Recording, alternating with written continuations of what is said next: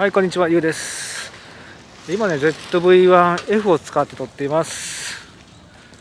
今日からね ZV-1F はキャッシュバックですね。2万円のキャッシュバック始まりますね。今ね手ブレ補正があまりね強くないのでオフにしてカタリストブラウズで手ブレ補正かけてます。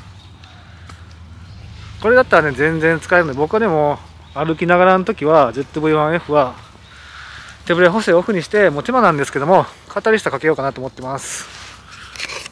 はいどうでしょうかね。ちなみに手ブレ補正オンにしてみますね。はいちなみにねこれが手ブレ補正のアクティブ補正です。どうでしょうか。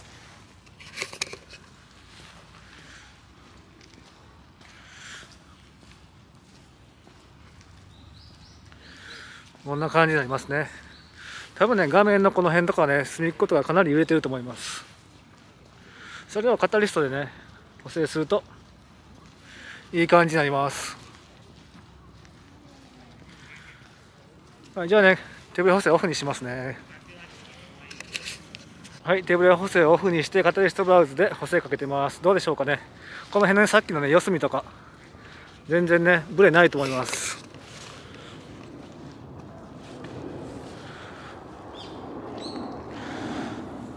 さっきね α7S3 もね使ってたんですけどやっぱりねこの軽さはめちゃくちゃいいですね。であと手軽に取れるっていうところですね。で起動がねめちゃくちゃ速いんですよねこれ。なのでね手ぶれ補正だけねしっかりしてくれたらねすごいいいカメラなんですけども。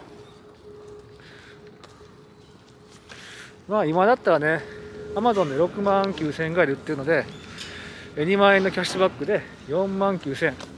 5万弱でね手に入りますのでね。違う5万円ぐらいでね手に入りますので結構ねお得なんじゃないでしょうかね。あとねカタリスト補正ってジャイロ補正使ってるので例えばね途中でこんなね揺れがね発生しても後のね映像ってねしっかりね補正してくれてます。まあ普通のねプレミアプロとかの手ブレ補正だったらねそんな感じでうまくいかないと思うんですけどもこういった感じでね揺らしても後からの映像はねその後の映像はねきれく補正されておりますので、ね、ま、有料版にねカタリスト入ってない人だったら僕はね基本的に足ブジブジです。ここ通るのやめましょう。かなりやばいです。まあ、有料版にね入ってない人だったら1個しかね多分補正できないのでこういった感じでずっとね取りっぱなしの方がいいと思います。ちょっと電池はねなくなってしまうんですけども1回1回ねカタリストで補正してると結構ね時間かかりますので手間ですね。なのでねずっとね取りっぱなしの方が僕はねおすすめです。編集するときに楽です。すごい足汚れてしまいました。こんなね例えば取らない例えばね取らない時こんな感じで持っていても多分材料のね補正の影響だと思うんですけどもまあ、こういった感じでね。その後ねちゃんと撮る映像はきれくね補正されていると思います。すごいね足が。汚くなってしまいました。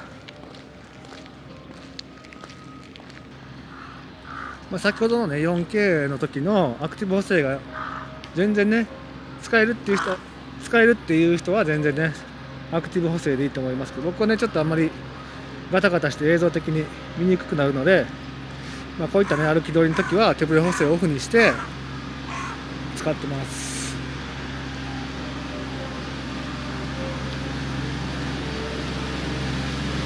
またね ZV-1F の使い方の動画でもねアップしようかなと思ってます。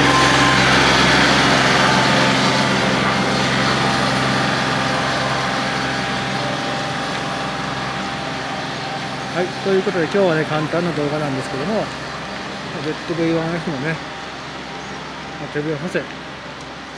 前回もね、結構前にこれ買った時にね、ZV-1 と ZV-E10 と、あとね、アクションカメラとかね、手笛補正の比較しておりますので、ZV-1F がね、結構歩きながらはね、弱いっていうところ、その動画見てね、確認してもらえたらなと思います。はい、今日はね、簡単ですけども、こんな感じで終わりたいと思います。それでは。